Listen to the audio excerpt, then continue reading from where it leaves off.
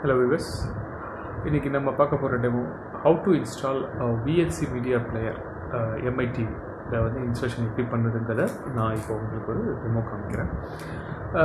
ஆக்சுவலாக எம்ஐ திரியில் பார்த்தீங்கன்னா உங்களுக்கு அந்த ப்ளே ஸ்டோர்ஸ்லாம் எதுவுமே வராது. ஸோ அந்த ப்ளே ஸ்டோர் வராதுக்காக நம்ம இங்கே என்ன பண்ணுறோம் ஆப்டாய் டிவி அப்படிங்கிற ஒரு தேர்ட் பார்ட்டி ஆப்பை வந்து நாங்கள் இன்ஸ்டாலேஷன் பண்ணுறோம் ஸோ இந்த தேர்ட் பார்ட்டி ஆப்பை இன்ஸ்டால் பண்ணி இதுக்குள்ளே நம்ம லாகின் இதுக்குள்ளே நம்ம ஓப்பன் பண்ணிட்டு அதுக்குள்ளே போய் நம்ம விஎல்சி மீடியா பிளேயர் வந்து டவுன்லோட் பண்ணிக்கலாம்.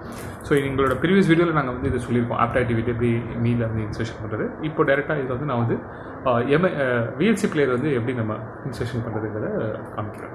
ஸோ டேரெக்டாக போய்ட்டு சர்ச்சில் போயிட்டிங்கன்னா ஸோ விஎல்சி பிளேயரை பற்றி எல்லாத்துக்கும் ரொம்ப பாப்புலரான சாஃப்ட்வேர் அது வந்து பார்த்திங்கன்னா எல்லா இதுவுமே சப்போர்ட் பண்ணக்கூடிய ஒரு சாஃப்ட்வேர் அது.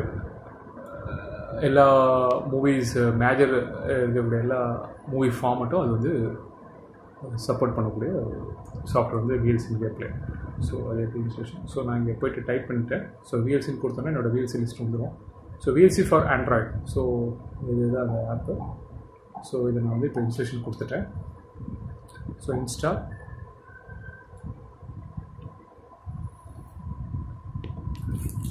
இருக்குது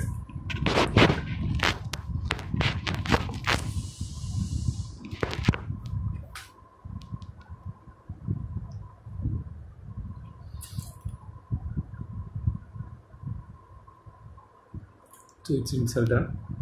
Install done. The installation is fully complete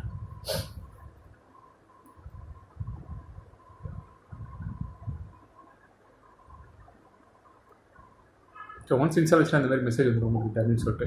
so இப்போ நீங்கள் பேக் கொடுத்துட்டு இல்லை நீங்கள் இங்கே கூட கிளிக் பண்ணி இதை வந்து ஓப்பன் பண்ணிங்க ஸோ உங்களுக்கு வந்து யூஎஸ்பி ட்ரைவில் இருக்கிறத நாங்கள் அக்சஸ் பண்ணி கேட்போம். ஏதாவது யூஎஸ்பி போட்டிங்கன்னா எக்ஸ் அலோவ் பண்ணிங்கன்னா அலோவ் ஸோ உங்களோட யூஎஸ்பி ஸோ எல்லாமே இதை வந்து ரீட் ஆக ஆரம்பிச்சிடும். தேங்க்யூ